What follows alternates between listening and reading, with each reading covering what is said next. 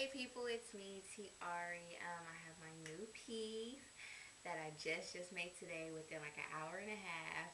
I absolutely love it. Oh my god, it's like a regular, um, it's kind of like a regular dress, basically. I mean, you can see that I'm wearing it, but it's just a regular dress. Um, as far as the lining, outline of it, and it's just on a different type of pattern which I absolutely love because kind of like it reminds me of Pretty Woman, you know, like that type of just frame, but we just put a wild like 80s style funky pattern. Like I'm so excited. I can't wait to make more. I'm definitely going to be making more.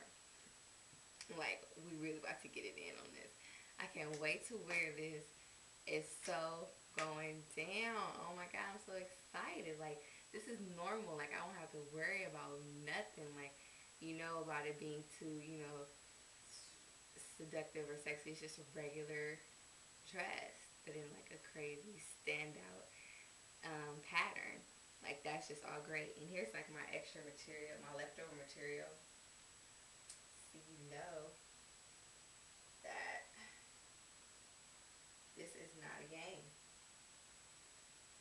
And this is where my dress was. And now, ta-da! So let me guys show you what it looks like. So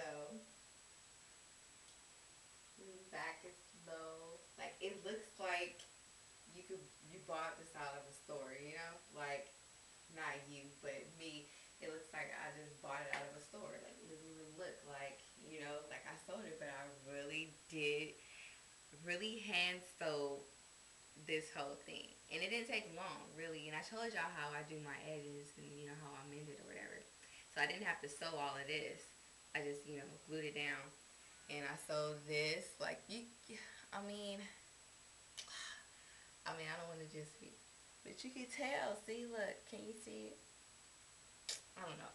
But anyway, it's all hand sewn by me, of course, like everything else. I'm so excited. Yes. But anyway, yeah, let me know what you guys think. And thanks for watching. Peace.